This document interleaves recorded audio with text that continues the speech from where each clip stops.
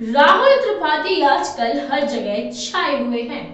राहुल त्रिपाठी एक ऐसा नाम है जो साल के कुछ हफ्तों में सबके ज़ुबान पे रहते हैं। यानी कि उनकी एक अलग पहचान ही बन जाती है। अब साल का वही हफ़्ता चल रहा है, जब राहुल त्रिपाठी सबकी बहाबहाई लूट रहे हैं।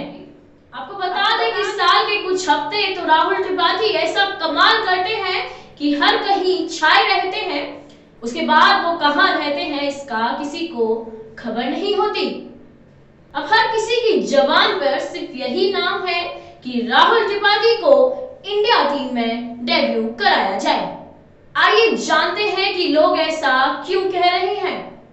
17 मई की रात को मुंबई इंडियंस के खिलाफ खेले गए मुकाबले में सनराइजर्स हैदराबाद के बल्लेबाज राहुल त्रिपाठी ने सीज़न का तीसरा अर्ध शतक जड़ा है।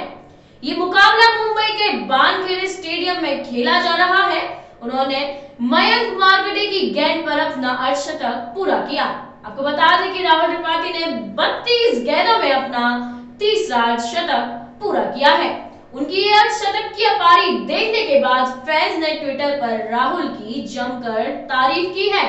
साथ ही उनके टीम इंडिया में भी शामिल करने की भी मांग की है।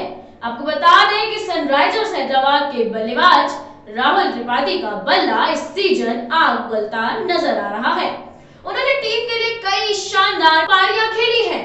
वहीं मंगलवार की रात को खेले गए मुकाबले में भी राहुल ने हैदराबाद के लिए अर्धशतकीय पारी खेली।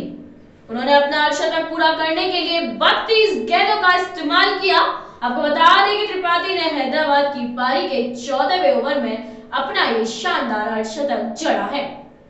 त्रिपाठी ने मयंक मार्गरे की गेंद में अपना इस सीज़न का तीसरा अर्धशतक जड़ा है। आपको बता दें कि अर्धशतक जड़ते ही राहुल त्रिपाठी ने अपना बल्ला उठाकर इस मूवमेंट को सेलिब्रेट किया। उनकी अर्धशतक की पारी देखने के बाद फैंस ने ट्विटर पर राहुल की जमकर तारीफ़ की है। इसी के साथ आपको बता दें कि राहुल अजय त्रिपाठी को आमतौर पर राहुल त्रिपाठी के नाम से जाना जाता है। वही भारतीय दाएँ हाथ के बल्लेबाज हैं जो घरेलू क्रिकेट में महाराष्ट्र के लिए खेलते हैं और आईपीएल में कोलकाता नाइट राइडर्स के लिए खेलते हैं।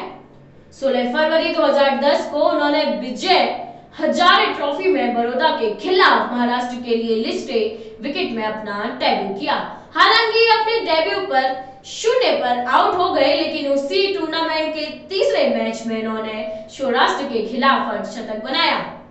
बाद में 22 दिसंबर 2012 को इन्होंने बड़ौदा के खिलाफ प्रथम श्रेणी में डेब्यू किया।